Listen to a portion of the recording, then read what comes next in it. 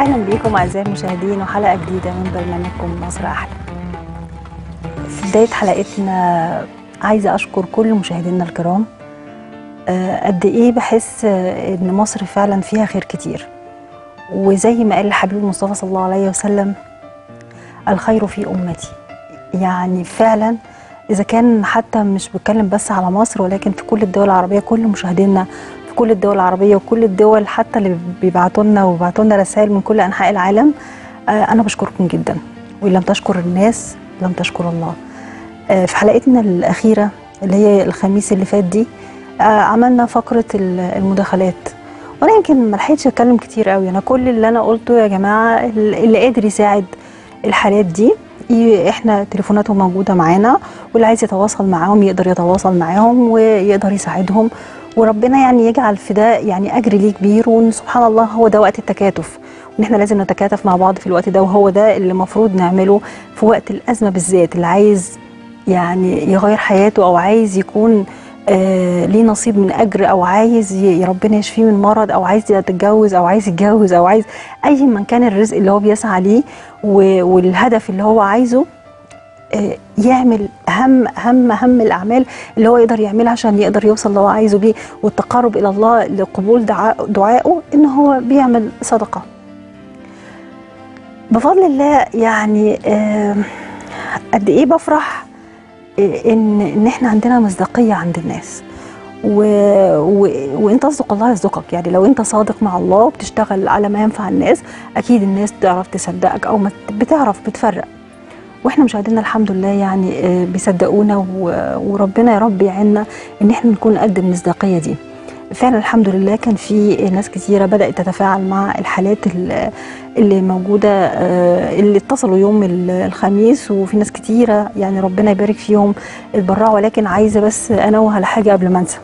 بكررها كتير وبقولها في كل مرة وبقولها في كل فقرة مداخلات وبقولها في كل تقاريرنا اللي إحنا بننزل نشتغل فيها ويكون فيها حالات إحنا نازلين فيها نازلين ندعمها. وبنحاول إن إحنا نمد إيدينا بتكاتف طبعا والتعاون معاكم جميعا. أرجوكم بالله عليكم. يعني أستحلفكم بالله زي ما بيقولوا. أي أي حد أنت عايز حتى لو مش مش من خلال البرنامج يعني حتى لو حد تاني مش مش أنت جاي تدعمه أو تمدله إيدك من خلال البرنامج أي حد حاول تتحرى الدقة وفيها أجر لأن ال- المال اللي في إيدينا ده هو مال الله. يعني تكون فاكر إن إحنا اللي فلوسنا اللي في جيبنا دي واللي معانا دي دي بتاعتنا. لا ده بتاع ربنا. انت مسؤول عنه هتحاسب عنه. فلازم تتحرى الدقة وتعرف مين يستحق مين يعني انت الفلوس اللي انت هتديها لحد ويكون مثلا يعني بنقولها حكيتنا كده بالبلدي نصبت عليك مثلا أو نصب عليك. هو طبعا ربنا أكيد يعني ربنا أكيد هيأجرك على النية وسبحان الله إن شاء الله يكون فيك أجر بس بالتحري. هي ربنا أكيد يعني هيحاسب كل واحد بي بياكل حرام ولكن انت أيضا تاخد بالأسباب. وتتحرى. وأنا قلت كتير كل الحالات اللي بتجيلنا اللي مداخلات بالذات اللي بنتكلم على المداخلات بكررها تاني. المداخلات اللي بتجيلنا إحنا ما بنبقاش شايفين مين مش عارفين. حد عبر التليفون أنا ممكن أنا نفسي بتأثر بيهم. يعني حالة ممكن أتأثر بيها جدا وهي ما تكونش حقيقية أصلا. وبتستغل مصداقيتنا ومصداقيتكم معانا. فأنا يعني بأرجوكم تاني وبستحلفكم بالله بالله عليكم لما يكون في حالة أنت عايز تساعدها. حتى لو يعني سيدة كبيرة مش قادرة تروح أو حد مشغول أو راجل كبير أو أي حد من آبائنا وأمهاتنا أو حتى أخواتنا وأخواننا اللي بيشتغلوا ومش فاضيين يبعت أي حد يحاول يتحرك قدر الإمكان. المشوار اللي هيروحه ده أو التعب اللي هو ممكن يتعبه ده ليه أجر فيه فبتضاعف الأجر لنفسك. إن أنت وعلى الأقل فيها فرحة كبيرة قوي لما أنت بتروح لحد بني آدم وت- وتحاول تفرحه. وانت مثلا تسد دينه أو مثلا حاجة المرض أو حاجة بتاخد بقى يعني الأجر أجرين. ففيها إن شاء الله يكون فيها خير بس بقدر إمكاننا إن إحنا نشوف الناس دي بعينينا. في حالات أنتوا بتشوفوها معانا على الشاشة. يعني مثلا إحنا بتجيلنا آه، بعض الناس اللي هو بيبقى عندهم ظروف معينة وإحنا بنحاول إن إحنا بنروح نمد يعني يعني بنحاول نسد حاجاتهم عن طريق طبعا كل الجهات اللي بتتعاون معانا. ربنا يبارك فيكم وفيهم جميعا يا رب. بتشوفوا ده بعينيكم على الشاشة. طالما شفتوها على الشاشة وعايز تدعمها خلاص مفيش مشكلة. بنوصلك بيهم كده. وتتابع. هم خلاص استكفوا خلاص يبقى أنت تشوف يعني ال- ال- المال اللي أنت عايز تطلعه لله في حتة تانية شوف حتة تانية. حد استكفى ممكن تتابع معانا تسألنا استكفى هنقول لك آه لأن إحنا بنتابع من بعيد. ما بناخدش فلوس في إيدينا صحيح بس بنتابع من بعيد. وبنخشى الله وبنخاف الله إن إحنا نكون سبب في إن حد ممكن ينصب عليكم أو حد يكون مثلا بياخد منكم زيادة أو بيطمع فيكم.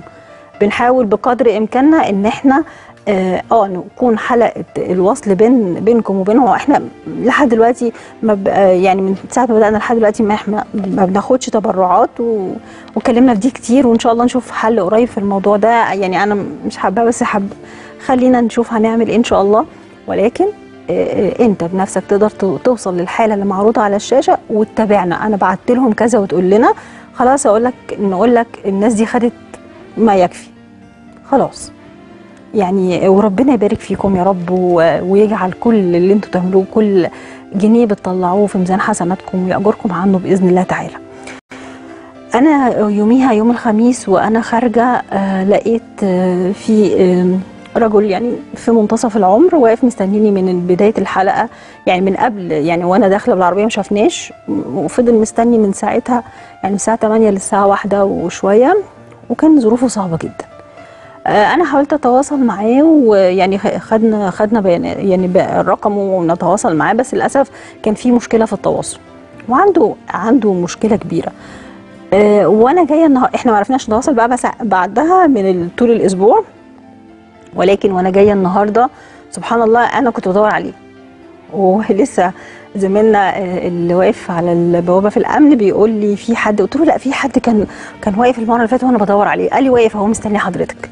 فالحمد لله لقيته و... و... وأنا عايزه عايزاكم تسمعوا مشكلته آه، معاه يعني معانا على التليفون يعني ما يدخل دلوقتي ويعني إيه اللي عايز وعنده مقدرة إن هو يساعده بس المرة دي هيكون معانا.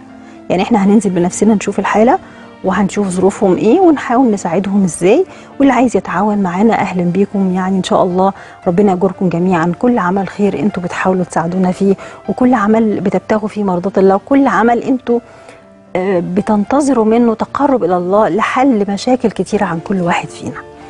آه، معانا إبراهيم. السلام عليكم ورحمة الله. وعليكم السلام ورحمة الله وبركاته. إزيك؟ عامل إيه؟ حضرتك يا أستاذة فاضلة الله يكرمك ربنا يكرمك. الحمد ربنا لله. يبارك في حضرتك يا فندم ربنا يجعله في ميزان حسناتكم يا رب الله يخليك. تعملوه والله وحضرتك وأستاذ الله يخليك. صاحب القناة كلكم وكل القناة. ربنا يكرمك يا رب. ربنا قول لي الله يخليك. قول لي آه، يعني المشكلة إيه ببساطة بس عشان نبقى فاهمين آه، الناس تسمع. إن آه. أنا يعني أنا أرزاقي على باب الله. تمام. ويعني الدنيا عمالة تغرق بيا أنا وأولادي. وأنا بطلع أنت أنت كنت بتشتغل إيه يا إبراهيم؟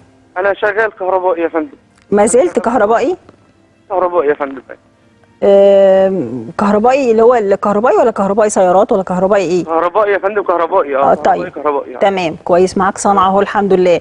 الحمد لله. إيه بقى المشكلة إن أنت ما بتشتغلش؟ المشكلة إن أنا دلوقتي يعني عملت كام سي في في كذا شركة ومفيش برضه حتى الأجور اللي بيقولوها لنا على القد ويا يا ريت يتواصلوا حتى معانا. مفيش حد بيتواصل بيقول لك إحنا مستخفيين وكده.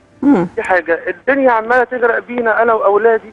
مم. وأنا معايا خمس أولاد وأنا وزوجتي يبقى سبعة مم. وأنا لو ربنا رزقني يوم بجيب يا دوبك على قد الأكل يعني سبع أفراد بياكلوا يا فندم مم. مش عارف أعمل حاجة والمركب عمالة تغرق طب إيه. المشكلة لا إيه المشكلة اللي عندك المشكلة دلوقتي دلوقتي اللي مقابلاني دلوقتي إن أنا الإيجار تراكم عليا كتير وصاحب الشقة كتر خيره وأنا بقول كتر خيره على قد ما بيعمل ده فيا فمن زهقه كتر خيره ليه عندي ست شهور ست ست شهور يعني- ست شهور بكام ست شهور الشهر ب 700 جنيه و100 جنيه مرافق يعني 800 جنيه لأن ما فيش عداد في المساكن اللي إحنا فيها يعني. تمام.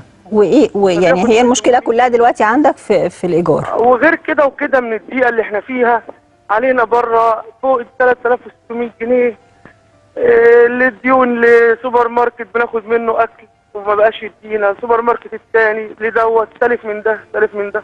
طيب يعني أنت عليك تغرق عليك بيا. دين مثلا حوالي 11000 ونص. حوالي آه يعني يعني 12,000. حوالي حاجة زي كده يا فندم. و... وعليا والمدارس المدارس الولاد هيدخلوا؟ والله العظيم يا أستاذ عندي في سنة رابعة وفي سنه سته ما. جبتش لا قلم ولا ورقة ولا أي حاجة. عايز أقول لحضرتك يعني أنا يعني هقولها وأنا يعني أنا عارف حضرتك. أديك لما ساعدتيني النوبة اللي فاتت يوم الخميس. خلاص. كانش عندنا لا أكل ولا شرب ولا طيب. أنبوبة مغيرينها ولا أي حاجة وربنا يبارك فيك. طيب يجعله في ذات طيب حسناتك أنا لازم أقول ربنا لا لا لا لا لا, لا بعد إذنك طيب، معلش. إيه طيب يبارك أنت دلوقتي يعني آه، أنت محتاج يعني الأول نسد الدين وتشتغل. هو حتى بنتي كمان يعني بقالها دلوقتي داخلة في سنة ونص هي مكتوب كتابها. مم. ما جهزتش غير حاجات بسيطة لما كان رب بيجي لي رزق ولا حاجة. طب إحنا الأول بس نشوف الأمور ال- يعني الحاجات الضرورية في الأول أيوة، يا إبراهيم ربنا اللي هو إن نشوف سداد الدين والإيجار. عشان أنت كنت بتقولي إن هم الراجل عايز يا الشقة. ريت ده طيب. هيمشينا خلاص يوم الجمعة طيب. والله. الجمعة الجايه دي؟ جمعه بعد بكرة. يعني قعد قال خلاص لو ما دفعتش الإيجار خلاص. الله المستعان الله المستعان. طيب آه، ربنا إن شاء الله يخلق في رحمة بإذن الله وخلي يعني عندك ثقة في الله. إن شاء الله بإذن الله ربنا يرزقنا برزقك إن شاء الله. على الأقل خالص بس عشان المدارس اللي داخلة و... والولاد اللي عايزين يخشوا أكيد محتاجين مصاريف المدرسة محتاجين لبس مدرسة. فإن شاء الله يعني ربنا اللي يعين بإذن الله تعالى. بشكرك جدا يا إبراهيم.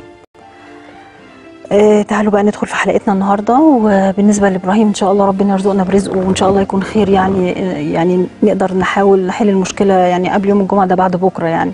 ولكن في ثانية ربنا بيخلق في قضاء رحمة ويعني قادر اللي هو خالق الكون بأمر كن فيكون إن هو يغير كل شيء. إحنا النهارده هنتكلم في حلقتنا عن حاجة مهمة جدا أنا اتأثرت بيها أو يعني كنت أنا كنت من كام يوم كده زي ما قلت لكم كنت تعبانة والدكتور كتب لي آه، أدوية منها أدوية منها حقن آه، الحقن دي أنا ما لقيتهاش خالص يعني هو قال لي يعني كاتب لي ثلاث أصناف أو صنف وبعدين ثلاث أصناف بديلة. كلهم مش موجودين. والصنف اللي هو الأولاني تقريبا ب 12 جنيه. ال 12 جنيه ده طبعا قال لي ممكن صعب تلاقيه. لكن لو عارفة حد تعرفي حد صيدلي وكده ممكن يجيبه لك أو إن انت حاولي بقى تشوفي البدائل. البدائل طبعا ما لقيتهاش خالص غير نوع واحد. والنوع الواحد ده أنت بت يعني في صيدلية مشهورة بس هي ده الوحيدة اللي قالت لي ممكن أجيب لك الحقنة ولكن أنت بتعملي order يعني بتعمل طلب قبلها وهو يجي لك بعدها في خلال يومين يعني تقريبا يعني. فقلت لهم خلاص okay عملت ده وبعد شوية أنا ماشية بالعربية لقيتها لقيت صيدلية تانية ببقى عارفة إن هي عندها كل الأدوية فلقيت فعلا عند الأدوية. ال- الحقنة اللي أنا شفتها في الحقنة اللي أنا شفتها في الصيدلية اللي هناك آه، اللي أنا عملت بيها اوردر نص تمن بالظبط والله نص تمن التانية. يعني التانية رغم إن الأولانية كانت 125 جنيه. الحقنه الواحدة 125 جنيه. التانية اللي أنا صيدليه تانية قال لي آه موجودة متاحة. قلت له إيه ده والله كويس. طيب أنا أنا محتاجة آخد حقنة. فراح قال لي لا الحقنة ب 250 جنيه. فاستغربت. قلت له 250 جنيه؟ إزاي ده أنا لسه حاجزاها في الصيدلية الفلانية ب 125 راح قال لي خلاص روحي خديها في الصيدليه اللي بتبيعها أرخص. قلت له القضية مش حكاية إن أروح أخدها في الأرخص و... إزاي يعني التباين في الأسعار بالشكل ده؟ إزاي يعني أنا حقنه وفي نفس الشارع تقريبا الصيدليتين في نفس الشارع. إزاي هنا ب 125 وهنا ب 250 قال لي والله إحنا عندنا كده إحنا بنجيبها كده ودي. قلت له مفيش. طيب يعني أليات لضبط الأسعار؟ يعني يعني عندكم الأسعار إزاي؟ كل صيدلية بتحط السعر اللي هي عايزاه؟ فقال لي دي بتبقى حاجات بتبقى جاية مستوردة والحقن دي فبتبقى على حسب كل صيدلية إزاي. وأنت بقى المستهلك أنت وشطارتك. يعني المريض ده يروح يجيب بقى يشوف يدور على الأرخص. استوقفني جدا إزاي إحنا يعني يعني آه ممكن عندنا مشكلة إن في آه، أدوية كتير مش موجودة. وتلاقي دواء معين تلاقيه فجأة اختفى. وتلاقي أدوية الأمراض المزمنة برضو مشكلتها إن أنت كتير فيها ما بتلاقيهاش. وفجأة تلاقي دواء نزل مكان دواء ودواء اللي أنت كنت بتاخده بسعر معين تلاقيه بسعر فجأة نزل تاني دواء تاني بديل وبسعر عالي جدا. والقضية الغريبة إن إن إن إزاي يعني إحنا بنتكلم عن ضبط الأسعار وبنتكلم إن إحنا نحارب يعني أي أي استغلال في في إن أنزل ألاقي مثلا منتج معين حد مغالى فيه في السعر إزاي في الصيدليات يبقى في صيدلية فيها سعر والتانية فيها سعر تاني. ودي مش أول مرة أنا في دواء تاني كنت جايباه من من فترة لقيته في صيدلية بسعر وفي صيدلية التانية أغلى منها تقريبا ب 40 أو 50 جنيه. فبرضه استغربت والدواء اللي هو لو لو هو مثلا الدواء هيغلى يبقى اللي عنده دواء بصلاحية أو يعني ليه آه، آه، تاريخ إنتاجه أقل شوية ولسه التاني اللي هو المنتج الجديد اللي هيغلى ما نزلش بيبيع القديم بالسعر الجديد. فين اليات ضبط الأسعار في في السوق؟ يعني خاصة في مجال الصيدليات. آه، أي يعني مين الجهة المنوطة اللي إحنا ممكن لما نلاقي حاجة زي كده إن إحنا نرجع لها؟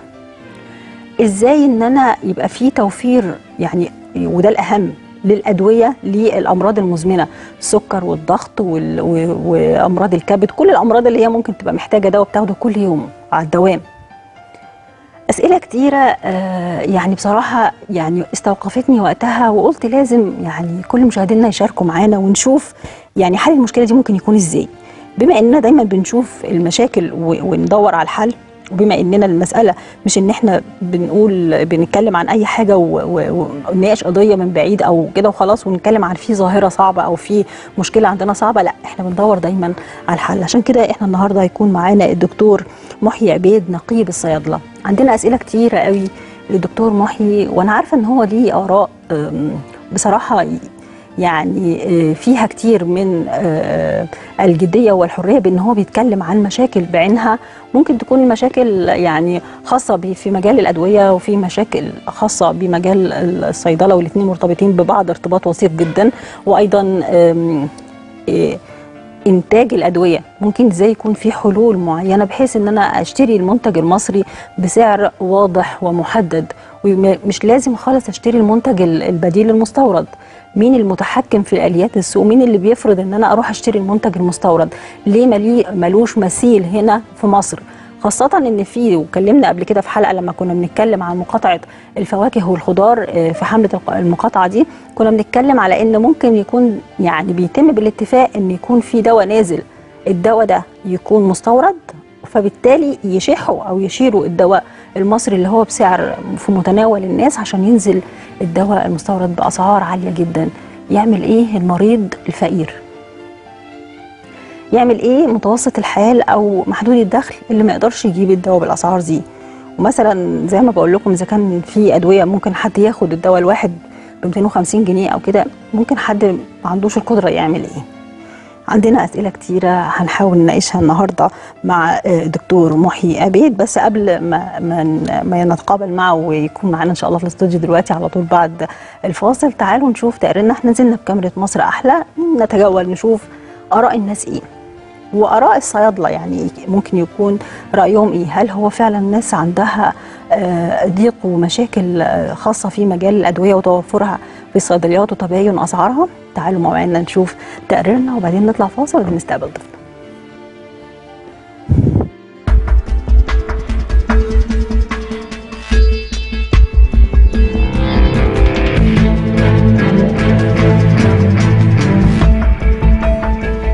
نقص الأدوية أنا رحت آه، لفيت على البنسلين. مرات ابني آه، مرات ابني عندها القلب بتاعه وماشي على علاج البنسلين قعدت أدور عليه ما لقيتوش. آه، قعدت لفيت الصيدليات هنا والطلبية ولغاية العزبي هنا برضه اللي هي بيبقى موجود فيها الأدوية ما لقيتش. ولا ليها بديل مثلا؟ ولا ليها ملهاش بديل لا. برضه الست بتاعتي كان لها برضه علاج قعدت لفيت عليه برضه قالوا لي ناقص في السوق. في حاجات مثلا نروح لك زخانة نسأل عليها يقول لك ناقص مش موجود. ونتردد على الزخانه أكثر من مرة علشان مثلا آه، آه، نجد هذا العلاج. للأسف الشديد يقول لك لسه ما جاش لسه ما جاش. فطبعا ده بيأثر على صحة المواطنين. بعض الأحيان بتزيد بتنزل بقى بالزيادة بقى. يعني بعض الأحيان بي- بيحشوها ويقولوا عليها نواقص علشان برضو يزودوا الثمن بتاعها آه يعلوا السعر بتاعها. عشان طبعا وهم عارفين طبعا المواطن هيضطر يشتريها حتى لو بضعف الثمن. الأدوية ناقصة كتير قوي قوي. الانسولين أنا قريبتي في اسكندرية بدخلوا على الانسولين وجم خدوه من مصر قبل ما لقوا لها حد كمان في مصر. ده كتير مش ناقصة بالعقل يعني أدوية كتير جدا ناقصة. يعني أدوية مرضى السكر مرضى الكبد آه مرضى الصداع العادي أدويته ناقصة برضه. عن نفسي أنا كان في حالة عند والدتي أنا كان مرضى القلب. اللي هي الأدوية بتاعت تخص القلب. يعني يمكن توفت بسبب حاجات بسيطة هنا في مستشفى الهرم. عشان ما فيش الإمكانيات. هي قطره مثلا اللي أنا بحطها في عيني دي عندي سحابة في عيني. ما كنتش بحطها مدة كل يوم مرة معناها دي السحابة دي بتكبر في عيني وما بشوفش منها اساسي بقالي دلوقتي أكتر من شهر بدور عليها مش لاقيها. حتى لو حتى لو بمبلغ أكبر أو يعني حتى لو بديلها. لا الاقيها لا دي ولا دي. في نقص في في الأدوية وفي غلو في الأدوية غلو جامد. يعني انبوبه مرهم بتاعت الناس الغلابة مثلا بنجيبها ب 4 جنيه وب 6 جنيه وب 5 جنيه. أنا جايبها امبارح لبنتي ب 21 جنيه. انبوبه مرهم قد كده ملهاش أي لازمة. واخد بالك؟ يا شحال بقى بقية الأدوية التانية شكلها إيه؟ يعني غلو غل... الناس الفقيرة دي تعمل إيه؟ الناس الفقيرة دي هتمشي تعمل إيه؟ ماشية تكلم نفسها من الغلو وكل حاجة مش الأدوية بس كل حاجة غالية. أيوه طبعا بلاحظ الحتة دي وما فيش شك إن أنا تعرضت للموقف ده يعني أكتر من مرة. بروح زي كده الصيدليه اللي هي تابعة لينا في محافظة السوهاج أشتري الدواء مثلا المطلوب ليا سواء أو لوالدي بلاقيه بالفعل ناقص. والدكتور بيكتب لي أحيانا مثلا على دواء بديل أو كده. وللأسف برضه بلاقي الدواء ده أغلى من الدواء اللي هو كاتبه لي وفي محافظة تانية غير المحافظة اللي أنا فيها.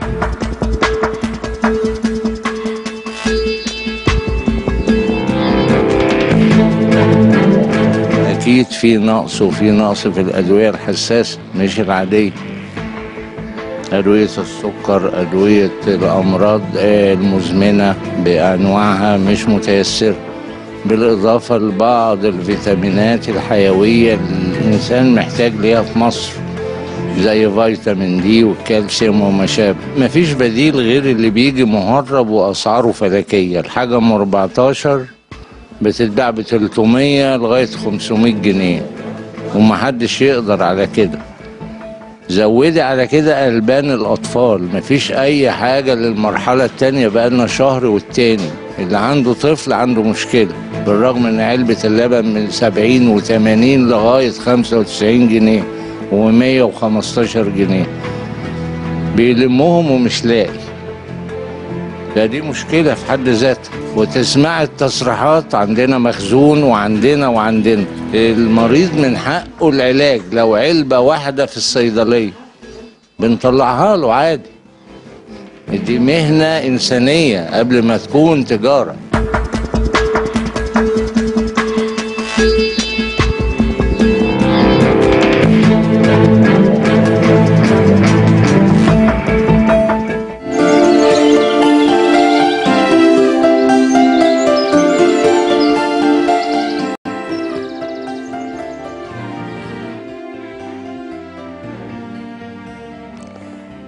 المشاكل اللي إحنا بنتكلم فيها دايما آه، إزاي نشوف حلها. فطبعا أي حاجة بتمس ال- التعامل ال- المباشر مع مع المواطن أو مع أي إنسان اللي هو الأكل والشرب وطبعا والأدوية. ويمكن في دايما في رأيي بقول لكم دايما المرض أو آه، يعني الدواء يعني هو أهم بكتير من الأكل والشرب في رأيي طبعا المتواضع. أما يكون في أدوية كتيرة ناقصة مين يعني هي الفكرة؟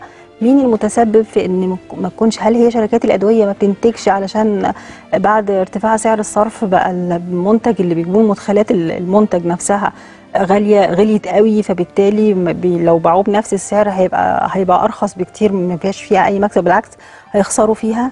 طب ليه المنتجات اللي بتيجي من بره مش بتدخل بالشكل القانوني؟ فبالتالي بيبقى كل واحد على حسب ما بيبيع أي صيدلية بتبيعه لأن هو مش مش جاية بشكل ال- الشرعي يعني. طيب نقص الأدوية المهم للأمراض المزمنة آه، هل مثلا يعني بتبقى متاحة في الصيدليات ولا هو الصيدلي الصيدلي أصلا أو الصيدلية أصلا ما بتلاقيهاش فبالتالي المشكلة إن هو ممكن يبقى معاه كام حاجة يديها لكام حد بالشكل اللي إحنا عارفينه يعني عشان نكون أكتر صراحة.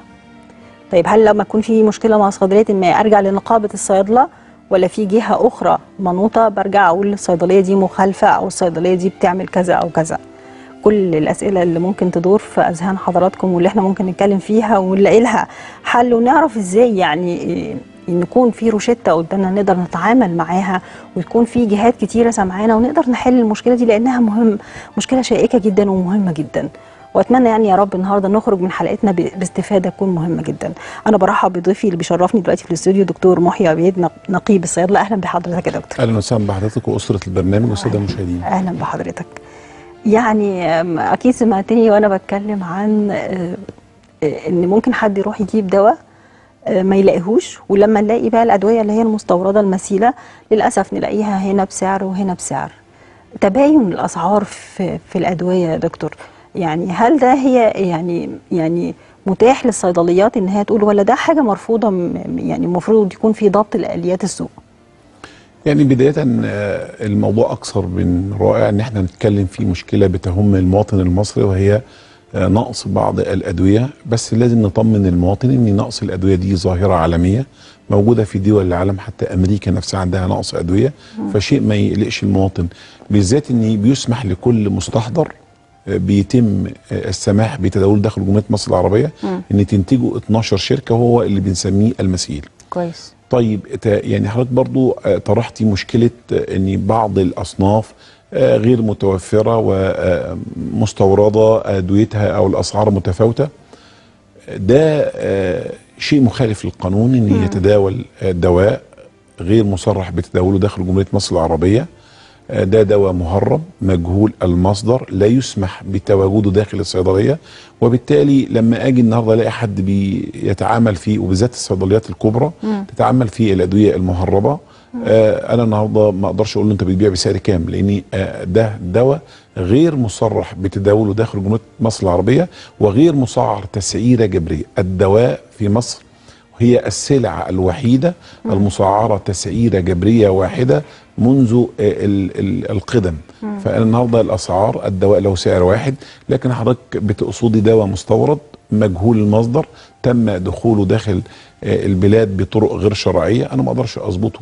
آه، ده دور التفتيش الصيدلي اللي هو المعني بالتفتيش على الصيدليات. تابع لوزارة الصحة. التابع لوزارة الصحة. بمجرد ما حضرتك ممكن آه، تجدي شكوى من أي صيدلي بتوجهي للنقابة أقرب نقابة فرعية أو نقابة عامة بتقدمي بشكوى إحنا بندرس ونستدعي الصيدلي ونسأله في محضر ونشوف صحة ال- الواقع لكن أنا بطمن حضرتك الغالبية العظمى من صيدليات مصر. ملتزمة بعدم تواجد أي أدوية غير مصرح بتداولها وبالذات إن ده بتخضع للتفتيش. دائما التفتيش آه، بيسمح له بدخول والمرور على الصيدليات في أي وقت خلال 24 ساعة. مم. يعني أنا فاتح بابي أمام التفتيش وأمام المرضى. أنا مش بتعامل آه، في من مكان مقفول. ده مكان مفتوح بيسمح بدخوله في أي وقت. وبالتالي آه، هنقول ما يقرب من 95% من صيدليات مصر ملتزمه تمام. طيب في نقطتين بس حضرتك قلتهم دلوقتي يعني آه، حابة أستفسر عنهم. أول حاجة حضرتك بتقول إن هو بيبقى الدواء المستورد ده مجهول المصدر يعني مجهول المصدر يعني يعني هو ممكن يكون مش نفس طبعا أنا فنيا مش فاهمة طبعا بس عايزة أقول نفس المكونات الفعالة آه، في آه، الدواء هي هي ولا بتبقى حاجة فعلا ممكن تبقى مضرة. تاني حاجة ليه مش مصرح باستيراده إحنا قلنا ال- المستحضر بيسمح ل 12 شركة فقط بانتاجه داخل جمهورية مصر العربية. ولو في شركة تانية بتستورد يبقى المفروض جمهورية مصر العربية بتقوم آه، بالتفتيش على لو هتسمح بتداول مستحضر مستورد مم. تحلل المادة بتاعت المستحضر ثم بتقوم لجنة من التفتيش الصيدلي بعمل تفتيش على المصنع و آه، م- يعني نرى مدى مطابقته لل GMP اللي هي التصنيع الجيد. آه، يبقى إذا لو مر ونجح يبقى يسمح بتداول مستحضراته فأنا بقى كلمة مجهول المصدر مم. يعني أتى إلى جمهورية مصر العربية من مصدر غير موثوق منه وممكن يحمل اسم شركة ولكن أنا ما لا شفت لا تشغيلة.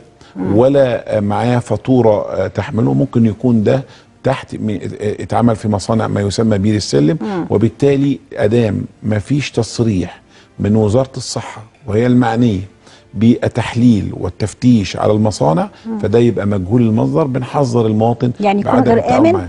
غير آمن؟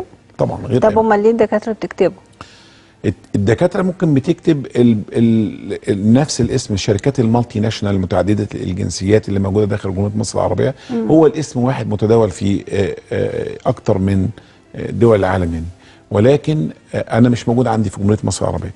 فجاي لي من مز- من بره مش مضمون. مش مضمون ما أعرفش. هل.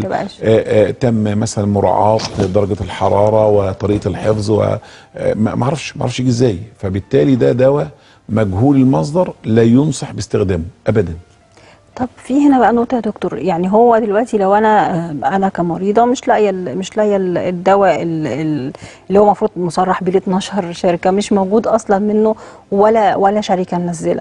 طب المريض هيعمل إيه؟ ما هو مضطر إن في هو إدارة شكاوى تابعة للشركة المصرية. مم. آه، هي المسؤولة عن توفير الأدوية الناقصة وبنلاقيها طبعا. الدولة حريصة طبعا إن في- يعني بيمر عليها فترة من الفترات.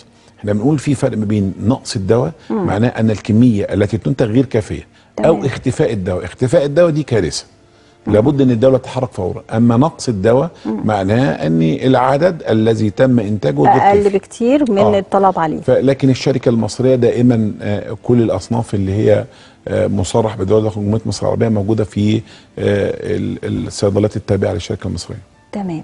طب لو لو حد من من المواطنين راح صيدلية لا يشتري دواء عادي كان معتاد ولقاه في الصيدلية دي آه، أعلى من الصيدلية دي يعني ممكن يكون تاريخ الإنتاج مثلا ده هو هو بس هو ده مثلا مطلع عشان ده هيغلى بعد كده. لا لا مفيش كده. إحنا مش بنتعامل في سلعة آه، آه، تجارية وبالتالي بيسمح صيدلي تاجر وعمال كل شوية يغلي ويستغل لا لا الكلام ده مفيش.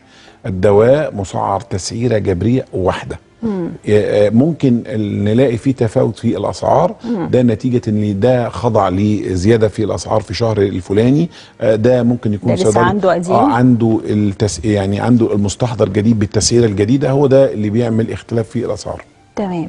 طيب آه، إيه الأصناف حضرتك بتقول في أكتر من نوع- دواء؟ آه، أهو فعلا في نقص في السوق. إيه هم الأدوية اللي هي فعلا فيها نقص وأسبابها إيه؟ كل المستحضرات آه، يعني بتعاني الآن في في الفترة دي من نقص ممكن نصل إلى 500 ل 700 صنف دوائي ناقصين. 500 ل 700 آه بالاسم التجاري. وعندنا أشهرهم الأنسولين اللي حاليا دلوقتي في أزمة كبيرة داخل جمهورية مصر العربية بنقص الأنسولين. مم.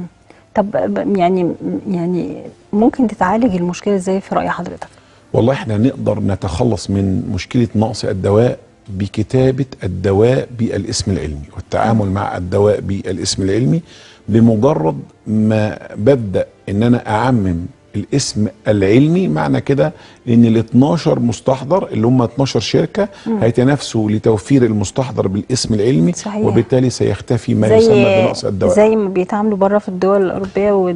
هو. تروح تقول أنا عايز مثلا حديد هو يط... مش طلع شركة إيه لا هو بيطلع حديد ب... ب... بأي شركة بقى مثلا صح كده صح اللي هو, هو. هو أنا النهارده لو تعاملت بالدواء بالاسم العلمي صحيح. معنى كده إن أنا آه، محافظ على صحة المواطن مم. آه، بسعى لتوفير الدواء آه، بشكل سريع بتخلص تماما من بعض ال- الطرق الملتوية اللي بيلجأ ليها بعض طبعا. المصنعين إن يعرف إن الصنف ده أكثر احتياجا فبيبدأ يقلله للضغط على الدولة لتوفير لتحريك الأسعار وبالتالي أنا لو أنا عايز أنهي على مشكلة نقص الدواء بجرة قلم من وزير الصحة آه، إن أنا أعمم زي ما السعودية عم عممت.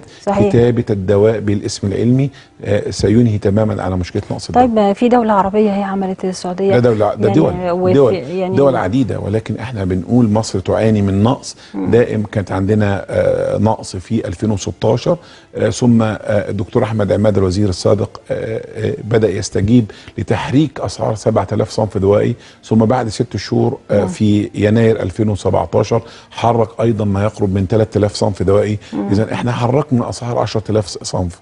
هل اختفت آه، نقص مشكلة نقص لا، الدواء اتحلتش. ما زالت قائمة يبقى. اذا الحل, الحل مش ده، حل هو. كتابة الدواء بالاسم العلمي طب يعني حل زي ده وزي ما حضرتك بتقول إن هو موجود في دول كتيرة عربية كمان وفي دول تانية يعني إيه صعوبة آه، إن هو ليه ما اتعملش؟ ليه ليه هل مثلا المفروض يبقى ي- مثلا نعمل مذكرة عاجله نرفعها لرئيس الوزراء ولا كل وزيره ده الصحة؟ كل ده النقابة تبنت هذا الأمر وكانت هناك دراسات عديدة مم. وقدمت إلى مجلس النواب ولكن إحنا بنتعامل مع بيزنس ومافيا صحيح. ولها قدرة على الضغط على الدولة وبالتالي ساعات بيبقى في آه، موائمات سياسية بت يعني بتضغط على الوزير أو الوزيرة القائمة مم. بعدم تطبيق الاسم العلمي لكن مم. أنا بقول الحس الوطني يستوجب على آه، آه، السلطة التنفيذية اتخاذ قرار جريء بكتابة الدواء بالاسم صحيح العلمي. صحيح. وإحنا بنضم صوتنا لصوت حضرتك وصوت نقابة الصيادلة بأن ده ضرورة حتمية. يعني مسألة ما بقتش اختيارية إن ما يبقاش فيها ر- ما عندناش رفاهية الاختيار إن إحنا طالما هو ده الحل الجذري اللي ممكن يحل المشكلة وي- ويعني ويكون جايبها بقى يعني ينسفها من أساسها طب ليه ما يتعملش؟ فأتمنى إن يكون فعلا وزيرة الصحة تكون سامعة دلوقتي كلام حضرتك ويكون كل الجهات بنثق المسؤولة. إحنا بنثق في الدكتورة هالة زايد وكان هناك تواصل وكانت عندها رغبة إن هي تعمل نشرة المسائل في ال- الجرائد ولكن ما أعرفش ليه القرار ده اتأخر وهي كان عندها رغبة في آه، آه، موضوع المسائل ده وان هي تنهي تماما على الاسم التجاري. وده يعني أنا شايفة إن هو ده حل يعني آه لو قلنا في عدل كتير يعني عدل هو اولا هيحل مشكلة النقص الأدوية وفي نفس الوقت هيخلي في عندنا أدوية فعالة لأن إحنا دايما في مقولة بنسمعها دايما إن الدواء المستورد أفضل بكتير من الدواء المصري. دي خدعوك فقالوا. آه. الدواء مش مش سيراميك زي ما أنا دايما بقول اللفظ ده ما فيهوش فرز أول فرز تاني. الدواء آه، آه، له فاعلية وله تكافؤ حيوي واتاحه حيوية. مم. وبالتالي هناك آه، قول واحد إما يكون دواء أو مش دواء. الدولة بتحلل الدواء أو وجدته 100% آمن وفعال له نفس الفاعلية ونفس التركيز المادة الفعالة بتسمح بتداوله. إذا كان هناك سمة خطأ على طول بتبدأ تسحبه. فإحنا ما عندناش دواء آه، فرز أول فرز تاني. الدواء المصري يتمتع بسمعة عالية جدا بدليل إن إحنا. من مصر بتصدر دواها لاكثر من 80 دولة على مستوى العالم. يعني ليه دكتور يعني فاهمة كده من كلامك زي أكتر من حد قال لي كلام حضرتك ده وحضرتك بتأكده دلوقتي بما إنك منوط في هذا المجال ويعني يعني حد بقى من المطبخ نفسه هو اللي بيقول لنا إن إن دي ممكن تكون الشائعة اللي بتتردد دايما علشان business برضو يعني business ال- الأدوية المستوردة. يعني آه، مش هنقول business بس الادويه المستوردة أو business لشركة معينة موجودة داخل جمهورية مصر العربية و deal بيتعمل على مع بعض ال ال الأطباء بإن أنا تكتب الدواء المعين ويقول لك ما تجيبش المثيل صحيح. ما تجيبش البديل. هو بالظبط يقول ده كده ما تجيبش أول ما تجيبش بمجرد- المصري. بمجرد ما الطبيب يقول لك اللفظ ده اعرفي إن هو عامل ديل مع الشركة. أما أروح أجيب المثيل بقى. آه أنت تقولي الصيدلي مين حضرتك؟ آه ال- الاكثر خبرة بالتشخيص وإجراء العمليات ما حدش بينازعه فيه هو الطبيب أيضا الصيدلي هو الاكثر خبرة بمجال الأدوية والتداخلات الدوائية وتداخلات الدواء مع الغذاء وتركيب الدواء وخمس سنين بيدرسه مم. فاذا الخبير الوحيد بالدواء هو الصيدلي نقطة من أول سطر خلاص. مفيش خبير تاني. يبقى اذا أنا المفروض الطبيب يكتب المادة الفعالة ويقول للمريض توجه للصيدلي يشوف المتاح ليه وتصرفه مم. أنت تفرق معاك إنك أنت تطلع شركة معينة ولا أنت عايز توصل مادة فعالة تعالج بيها المريض بتاعك؟ صحيح. بس. يعني آم، آه، نصيحة حضرتك لأي مريض آه، بيرايح ياخد اسأل ادويه الصيدلي. آه يسأل الصيدلي يقول له المادة الفعالة اللي هنا هي اللي هنا ولا لأ. هو الصيدلي يقول له أنا حضرتك آه، لو الدواء غالي عليه أو الدواء بتاعه مش موجود يسأل الصيدلي حضرتك يا دكتور بعد إذنك أنا عايز المثيل بتاع الدواء ده. مم. لو لقى ال- اللي حتى اللي كاتبه الدكتور غالي عليه يقول له طب ممكن في مثيل مصري مم. أو مثيل زيه رخيص أ- أقل من كده؟ هيدوه هيدوا له و... وبنفس الفعاليه نفس الفعاليه ما فيش أي فرق. طيب والله دي معلومة كويسة جدا واتمنى الناس كتيرة تسمعها لأن ناس كتيرة عندها مشكلة بس كمان إن هم يلاقوا الدواء لأن كتير برضو مش. مش بنلاقيه الدواء المصري آه، حضرتك ليك رأي في, في الخصومات اللي بيعملوها أحيانا بعض الصيادلة يا دكتور الخصومات اللي بيعملوها على بعض الأدوية إن ممكن يكون في آه، صيدلية آه، صيدليه ما بتقول لك في أدوية وعاملة عليه خصم حضرتك كنت بترفض يعني يعني يعني هذا ال- الاتجاه وبتقول ما حدش يتعامل مع آه، الأدوية اللي هي عليها أي خصومات. يعني إحنا بداية كلنا حريصين الحرص على توفير الدواء للآمن والفعال. لاهلنا المرضى آه، أخواتنا. ولكن لما حضرتك تعرفي أن الدواء مسعر تسعيرة جبريه وان هامش الربح يبدأ من 10% وتلاقي صيدلي أو تلاقي صيدلية بتقول أنا هعمل خصم 15% بمجرد ما يعلن أن هناك خصم المريض يجب أن يتأكد أن الدواء مجهول المصدر. الدواء مصدره مش سليم. الدواء ده مشكوك فيه. أنا بقولها تاني. الدواء ده خصمه 10% تمام. إزاي أنت جبته منين وبتبيعه ب 15% هل انت بتعمل خدمة بخس... بخسائر؟ ممكن يكون مثلا تاريخ الانتاج قرب ينتهي فمثلا يبيعوا كلام لا هو مش كده خالص. هو آه، تحصل على الدواء من مصادر آه، غير سليمة وبالتالي بدأ يعمل عليها خصومات لجذب المريض ناحية الصيدلية بحيث إن هو يسحب الكميات اللي هي تحصل عليها بشكل غير رسمي وبالتالي تأكد آه، 100% أن الدواء ده مشكوك في سلامته. أي صيدلي يعلن أن مش عارف إيه نزولا على صحة المرضى بنعمل خصم 10% 15% تأكد بالدليل أن يراعي إن الدواء هو في مشكلة. الدواء غير آمن. آه في أي مشكلة؟ أستاذنك ناخد بس معانا أحمد من الجيزة. ألو؟ السلام عليكم. وعليكم السلام ورحمة الله وبركاته. آه، أسأل الدكتور بعد إذنك سؤال. اتفضل اتفضل. آه، إحنا إذا كنا بنتكلم على الأدوية وحاجة زي كده أنا بتكلم على حاجة خطيرة جدا تانية. وهي العامل البشري اللي هو الدكتور الصيدلي. النهارده في دكاترة كتير صيدلية بتفتح الصيدلية باسمها ولكن اللي بيشتغل فيها غير صيدلي بمعنى بكالوريوس تجارة ليسانس آداب حقوق وبيبيع في الصيدلية بي- بيقرأ الروشتة وبيدي الأدوية وكل حاجة. فدي كارثة. هل ممكن إن أنا أعتمد إن أنا أشتري دواء من واحد غير متخصص لحاجة زي كده؟ فين التفتيش بالنسبة للجزئية دي؟ تمام. الجزئية الثانية بالنسبة لادويه الأطفال لبن الأطفال. يمكن أنا عندي ولاد كبار ولكن معني بالمشكلة إن كان في مشكلة في لبن الأطفال وبعد كده الجيش تدخل واستورد هو بسعر معين لتخفيض الأسعار وكده. وبعدين اكتشفنا بعد كده إن في مصنع هنا في مصر بينتج لبن مصر. الاطفال نعم. لاكتو مصر مصنع لاكتو مصر. آه وبعد اكتشفنا وبعد كده ما أعرفش وصل لإيه. وعايز حضرتك طبعا هل خبرتك أو أو معلوماتك وصل لايه المصنع ده وهل الإنتاج بتاعه هقول لك دلوقتي حالا.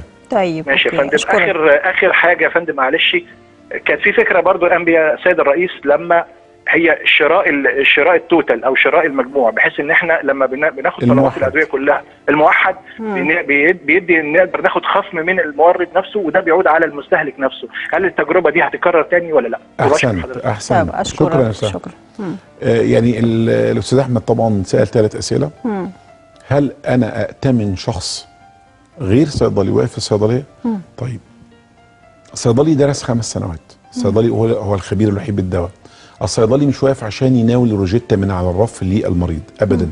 الصيدلي هو خط الدفاع الأخير للمريض إذا أخطأ الطبيب فلا يمكن للصيدلي أن يخطئ. وإيه لو أخطأ الصيدلي هتكون الثمن حياة المريض. صحيح. اذا أنا لا أثق ابدا إلا في شخص مؤهل علميا آه واقف في الصيدلية صيدلي وحضرتك تأكد من دايما اطلب حضرتك صيدلي. آه يبقى تأكد إن ال- الخبير واقف في الدواء واقف في- مكانه. هو أمين عليك إنما حكاية إن آه انتشار ما يسمى بالدخلاء على مهنة الصيدلة ده بيعاقب عليها القانون بالحبس عميد.